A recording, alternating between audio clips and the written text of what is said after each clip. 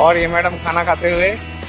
विदेश में देसी स्नैक्स विदेश में देसी स्नैक्स अच्छा विदेश में भी देसी स्नैक्स ही खाना है तो फिर विदेश क्यों आए? देश में रहते। हेलो एवरीवन स्वागत है एक बार फिर से आप सबका ट्रैवल यात्रा में और थाईलैंड टूर सीरीज़ के एक और नए वीडियो में। पिछले वीडियो में मैंने ये डिस्कस किया था कि अगर आप थाईलैंड के ट्रिप का प्लान कर रहे हैं तो सबसे पहला चीज़ ये होता है कि आपको आपका to and fro flight book कर लेना चाहिए। तो वो कैसे आप चीपेस्ट तरीके से और इजीली बुक कर सकते हैं, उसके लिए पूरा डिटेल में मैंने ये वीडियो बना रखा है। पिछले हफ़्ते का ही ये वीडियो है तो जाकर इसे चेक कर सकते हैं। अब उसके बाद जो अगला चीज़ होता है थाईलैंड के ट्रिप के लिए, वो है आपका वीज़ा प्रोसेसिंग तो आज के इस पर्टिकुलर वीडियो में हम डिस्कस करेंगे थाईलैंड के वीज़ा प्रोसेस से रिलेटेड कंप्लीट डिटेल्स तो अभी फ़िलहाल नवंबर 2023 से मई 2024 तक इंडियंस के लिए थाईलैंड का वीज़ा बिल्कुल फ्री है तो आपको वीज़ा की कोई ज़रूरत नहीं है।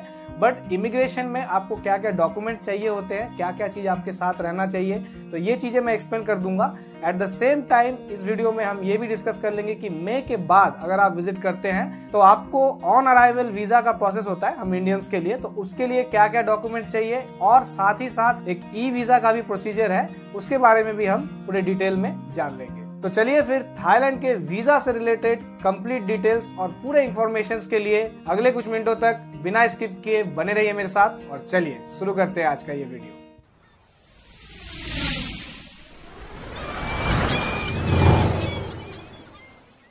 तो रिसेंटली हमने भी अपना थाईलैंड का ट्रिप कंप्लीट किया था। हमारा ट्रिप था फरवरी के फ़र्स्ट वीक में।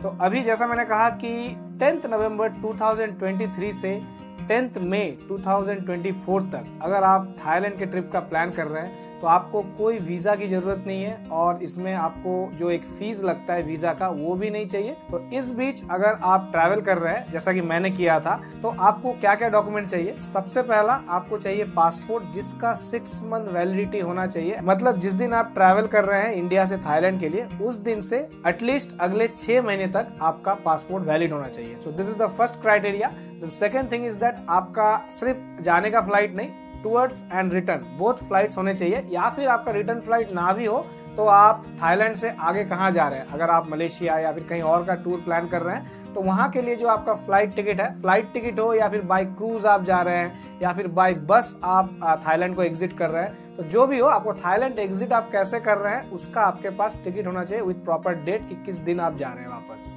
देन नेक्स्ट आप जितने भी दिन यहाँ पर स्टे कर रहे हैं थाईलैंड में तो उतने दिन का आपके पास बुकिंग का जो वाउचर होता है होटल स्टे का जो वाउचर होता है, वो आपके पास होना चाहिए। आपके पास प्रॉपर बुकिंग होना चाहिए। और ये जो बुकिंग है, ये पेड बुकिंग ना भी हो तो भी चलेगा। कहीं कहीं पर किसी किसी होटल बुकिंग वेबसाइट में आपको ऑन अराइवल पेमेंट का भी मोड आता है, जिसमें आप बुक कर लिए जस्ट ज़ीरो पेमेंट से और आपको वाउचर वगैरह मिल जाता है देन आप वहाँ जाकर आप डायरेक्ट रिसिप्शन में उनको बाई कैश या फिर बाई कार्ड पे कर सकते हैं। तो इस तरीके का ऑन अराइवल पेमेंट वाला जो मोड होता है, ये भी चलेगा बट आपके पास बुकिंग वाउचर होना चाहिए पूरे स्टेज का जितने दिन आप स्टे कर रहे हैं इन थाईलैंड। तो ये आपका अगला रिक्वायरमेंट है।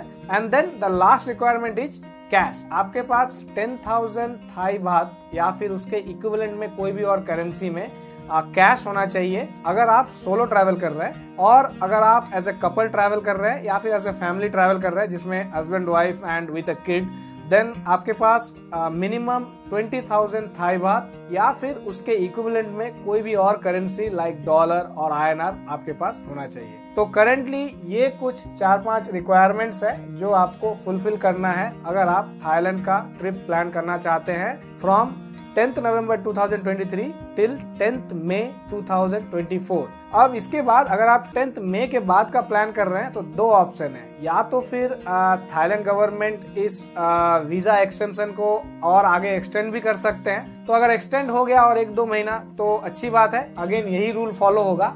अगर एक्सटेंड नहीं होता है तो इसके साथ आपको कुछ एडिशनल और चीज़ों का ध्यान रखना है। उसका भी मैं आपको क्विकली डिटेल्स दे देता हूँ। तो सबसे पहली बात, आपका ये चीज़ एक्सटेंड हुआ है कि नहीं हुआ है? ये आप कैसे पता करें?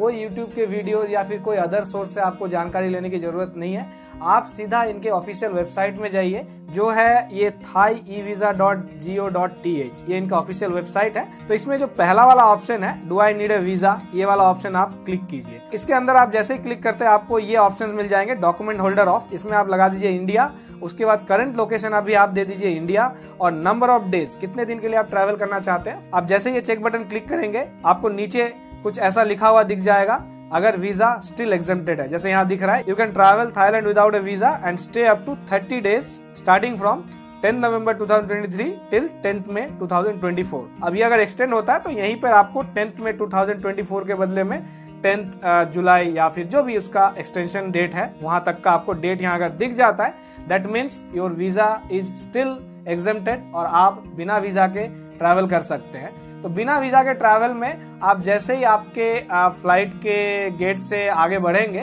तो आपको यहाँ हर जगह में इस तरीके से ई वीज़ा कहाँ से मिलेगा, देन ट्रांजिट वीज़ा कहाँ से मिलेगा, ये सब चीज़ दिखता हुआ जाएगा, आपको कोई प्रॉब्लम नहीं होगी। और जहाँ पर आपको इमिग्रेशन का ऑप्शन दिखता है, स्ट्रेट वे आप इमिग्रेशन में जा सकते हैं, आपको ऑन अराइवल वीज़ा या ट्रांजिट वीज़ा, किसी भी तरह के वीज़ा प्रोसेस से गुजरने की ज़रूरत नहीं है। तो इस तरीके से हमारा भी इसी ड्यूरेशन में ट्रैवल था तो सीधा हम इमिग्रेशन में गए और जस्ट उन्होंने मेरे से तो कुछ भी नहीं पूछा। मतलब ये सब डॉक्यूमेंट जो है, ये रखना ज़रूरी है। अगर उनको डाउट आए या फिर उनका मन करे तो वो पूछेंगे। अदरवाइज़ इमिग्रेशन में जनरली 90 परसेंट टाइम कुछ नहीं पूछा जाता है। जस्ट आप क्यू में जैसे ही खड़े होते हैं, वो आपका पासपोर्ट देखेंगे। पासपोर्ट का जो वैलिडिटी है, वो जस्ट वो चेक करते हैं। And that's all they will give you a stamp and they will tell you to proceed that's all मेरे साथ भी यही हुआ। और हमारे साथ लगभग वहाँ पर आठ दस इमिग्रेशन के काउंटर थे। सब में दस दस लोग तो थे ही मतलब सौ दो सौ लोगों को हमने देखा, किसी से भी उन्होंने कोई डॉक्यूमेंट नहीं पूछा। हार्डली किसी एक दो बंदे में डाउट हुआ तो उनको अलग से ले गए, पता नहीं उनसे क्या पूछे। बट जनरली 99 परसेंट लोगों को उन्होंने जस्ट पासपोर्ट देखा, इमिग्रेशन का ठप्पा लगाया and then they told to proceed तो इस तरीके से अगर आपका वीज़ा फ्री प्रोसेस है तो आपको जस्ट इमिग्रेशन में 10 मिनट का टाइम लगेगा and then you can just proceed और आप थाईलैंड में एंटर कर जाएँगे। और अगर आपका ये वीज़ा फ्री वाला एक्सटेंशन खत्म हो जाता है then you have to follow the on arrival visa procedure तो ऑन अराइवल वीज़ा के लिए आप डायरेक्ट इमिग्रेशन में नहीं जा सकते हैं। आपको सबसे पहले ऑन अराइवल वीज़ा काउंटर पे जाना पड़ेगा और वहाँ पर आपको कुछ इस तरीके का एक फॉर्म मिलेगा। ये फॉर्म आपको वहाँ पर फिल करना है। ये बेसिक फॉर्म है। इसमें आपका to and fro flight details पूछा जाता है। आप होटल में रह रहे हैं, कहाँ रह रहे हैं, कितने दिन के लिए आप स्टे कर रहे हैं, ये सब चीज़ें हैं इसमें। आपका पासपोर्ट नंबर वगैरह, नाम, पता एंड ऑल दो थिंग्स तो ये चीज़ आप फिल कर दीजिए और ध्यान रखिएगा, इस टाइम आप एक पेन ज़रूर कैरी कीजिए अपने साथ, क्योंकि यहाँ पर पेन की मारामारी हो जाती है। बहुत लोग आपसे बोरो करेंगे पेन या फिर आपको वेट करना पड़ेगा किसी और से पेन बोरो करने के लिए। क्योंकि जनरली हमें ये चीज़ याद नहीं रहता है। हम जस्ट ऐसे चले जाते हैं फॉर्म है, भर देंगे। बट ये चीज़ दिमाग में नहीं रहता है कि पेन भी चाहिए वहाँ पे फॉर्म भरने के लिए। तो ये पेन आप ज़रूर कैरी कीजिए। और ये फॉर्म जैसे आप फिल कर देते हैं, इसके साथ अगेन ये सारे डॉक्यूमेंट्स आपको वहाँ पर प्रोड्यूस करने पड़ेंगे। और उसके बाद आपको यहाँ पर फ़ीस पे करना है two thousand Thai baht two thousand Thai baht का इनका वीज़ा ऑन अराइवल का फ़ीस होता है। अगर आपका वीज़ा फ्री एग्जामेशन नहीं है तो। और इसमें और एक छोटा सा ट्विस्ट है, इनके जो जनरल क्यू है, इसमें टू थाउज़ेंड थाई बात का फ़ीस लगता है। और इनके पास एक एक्सप्रेस क्यू होता है। एक्सप्रेस क्यू में अगर आप जाना चाहते हैं, थोड़ा जल्दी आपका प्रोसेस होता है वीज़ा। और इसमें ये लोग 200 भात एक्स्ट्रा लेते हैं।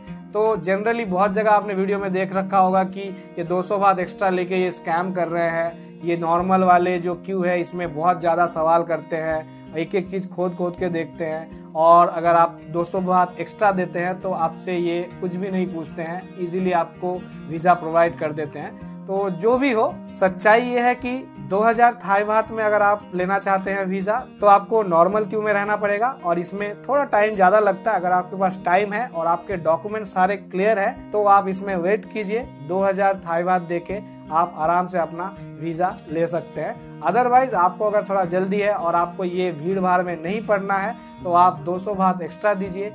2200 थाई भात देकर आप एक्सप्रेस क्यू में खड़े होकर ऑन अराइवल वीज़ा 2200 थाई भात में ले सकते हैं। So that is the fact अब इसके बाद अगर आप वीज़ा ऑन अराइवल में जा रहे हैं तो एडिशनली जब आप वीज़ा ऑन अराइवल का फॉर्म भर रहे होते हैं, उसमें आपको एक पासपोर्ट साइज़ फ़ोटो चाहिए होता है, जिसका डायमेंशन होना चाहिए four centimeter into six centimeter और ये व्हाइट बैकग्राउंड में मैट फिनिश में होना चाहिए। तो इसका पूरा डिटेल जो है आपको थाई एम्बेसी के जो ऑफिशियल वेबसाइट है, उसमें भी मिल जाएगा। उसका मैं लिंक डिस्क्रिप्शन में दे दूँगा। और मेरा जो पहला वाला वीडियो है थाईलैंड के ऑन अराइवल वीज़ा से लेकर तो इस पर्टिकुलर वीडियो को भी आप चेक कर सकते हैं। यहाँ पे भी आपको ऑन अराइवल वीज़ा से रिलेटेड सारे इन्फॉर्मेशन पूरी डिटेल में मिल जाएँगे। और ऑन अराइवल वीज़ा में बहुत लोगों को बहुत सारे छोटे मोटे क्वेरीज रहते हैं, जैसे फ़र्स्ट थिंग कि इंश्योरेंस चाहिए कि नहीं। यहाँ पर कोई आपको हेल्थ इंश्योरेंस लाइफ इंश्योरेंस किसी भी चीज़ का ऑफिशियल वेबसाइट में कहीं पे मेंशन नहीं है और ये आपसे पूछते भी नहीं है। आपके पास खाली ये डॉक्यूमेंट्स अगर है तो that is enough for on arrival visa दूसरा चीज़ जो मैंने ऑलरेडी क्लैरिफाई कर दिया है कि ये प्रीपेड होटल बुकिंग से लेते हैं कि आप अगर ऑन अराइवल पेमेंट वाला मोड अगर लेना चाहे तो वो भी एक्सेप्टेड है। ऑन अराइवल अगर आप लेना चाहें तो भी एक्सेप्टेड है। ऐसा नहीं कि आपको प्रीपेड जो होटल बुकिंग वाउचर होते हैं, वही एक्सेप्ट करेंगे। आपका बस होटल बुकिंग के लिए वाउचर होना चाहिए, कितने दिन का आप स्टे कर रहे हैं, उतने पूरे दिन का। अब तीसरा चीज़ ये है कि आपको जो फ़ीस देना है 2000 थाई का या फिर एक्सप्रेस लाइन में अगर आप लगते हैं तो 2200 थाई भात का।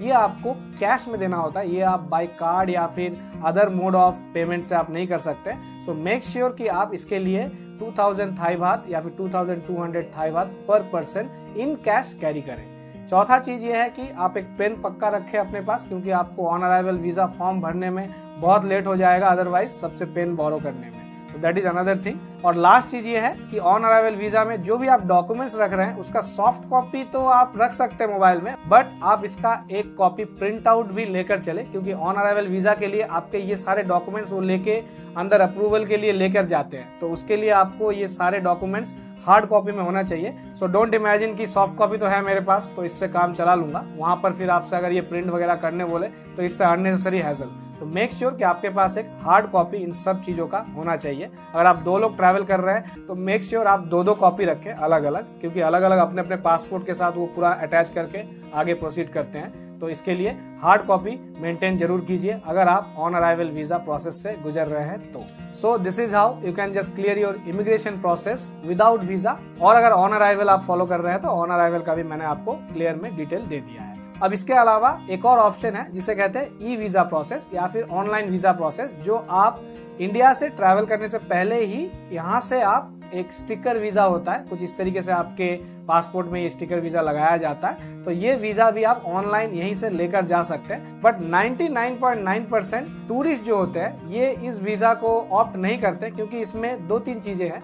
पहला चीज़ तो ये 2500 थाई बात इसमें आपको पे करना पड़ता है, जो नॉर्मली ऑन अराइवल वीज़ा का जो प्रोसेस है, उससे 500 थाई बात ज़्यादा है। और मेनली ये ई वीज़ा होता है, उनके लिए जो 30 दिन से ज़्यादा का ट्रैवल प्लान कर रहे हैं। मतलब आप अगर ऑन अराइवल में या फिर करेंटली अगर आप जाते हैं तो आपका 30 दिन का जो है free of cost visa provide किया जा रहा है या ऑन अराइवल में हो जाता है। उससे ज़्यादा का अगर आपका ट्रैवल करना तो आपको ई वीज़ा के लिए अप्लाई करना होता है। दूसरा चीज़ ये होता है कि बहुत लोग वो क्यू में खड़ा होना नहीं चाहते हैं। ई वीज़ा जिनके पास है, उनके लिए एक अलग लाइन होती है कि ई वीज़ा क्यू अलग से बनता है। तो ई वीज़ा में आप जाके अगेन इजीली क्रॉस कर सकते हैं। बट अल्टीमेटली आपको 500 थाई बात एक्स्ट्रा देना पड़ेगा। तो ये अगर आप चाहते हैं तो you can go for it otherwise आपके पास एक ऑप्शन और मिलता है एक्सप्रेस क्यू का, जिसमें आप 200 थाई बात देके very quickly on arrival visa का जो प्रोसीजर है, उसको आप कंप्लीट कर सकते हैं। So these are the two methods एक है आपका ऑन अराइवल वीज़ा और एक है e visa and currently you don't need any kind of visa just आप डायरेक्टली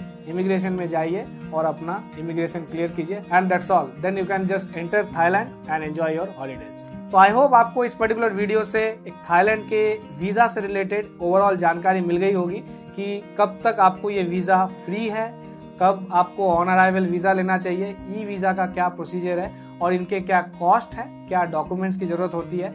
इसके अलावा आपको और भी कोई डिटेल्स चाहिए वीज़ा से रिलेटेड या थाईलैंड टूर से रिलेटेड तो प्लीज़ मुझे कमेंट कीजिए। मैं आपके हर कमेंट का जवाब देने का कोशिश करूँगा। और रिसेंटली हमने जो थाईलैंड का ट्रिप कंप्लीट किया, उसके बारे में मैंने पूरा एक डिटेल में थाईलैंड टूर सीरीज़ बना रखा है, जिसमें काफ़ी सारे वीडियोस है। तो अगर आप थाईलैंड के टूर का प्लान कर रहे हैं या इन फ्यूचर प्लान करने वाले हैं देन आई रिक्वेस्ट की आप थाईलैंड टूर सीरीज़ के सारे वीडियो ज़रूर चेक कीजिए। इसका लिंक मैं डिस्क्रिप्शन में दे दूँगा और यहाँ आई बटन में भी आपको इसका लिंक आ रहा होगा। तो you can just go there and check all the you will get a better idea और एट द एंड अगर आपको ये वीडियो पसंद आया तो वीडियो को लाइक करें और शेयर करें और ट्रैवल यात्रा चैनल को सब्सक्राइब करना ना भूलें। तो चलिए ऑन दिस नोट करते हैं इस पर्टिकुलर वीडियो को, यहीं पर एंड और at the end of the video मैं आपको थाईलैंड टूर सीरीज़ का जो पूरा प्लेलिस्ट लिंक है, उसका डायरेक्ट लिंक यहीं पर दे रहा हूँ। यहीं से आप डायरेक्ट जाकर क्लिक कर सकते हैं और थाईलैंड टूर सीरीज़ के मेरे सारे वीडियोस को यहीं से आप चेक कर सकते हैं। तो चलिए, जब तक आप इन थाईलैंड टूर सीरीज़ के वीडियोस को चेक करते हैं, मैं आपके लिए अगला वीडियो तैयार करता हूँ और जल्दी मिलते हैं थाईलैंड टूर सीरीज़ के एक और नए वीडियो के साथ। तब तक के लिए खुश रहिए एंजॉय कीजिए और अपनी ज़िंदगी के सफ़र में सफ़र करते रहिए। जय हिंद।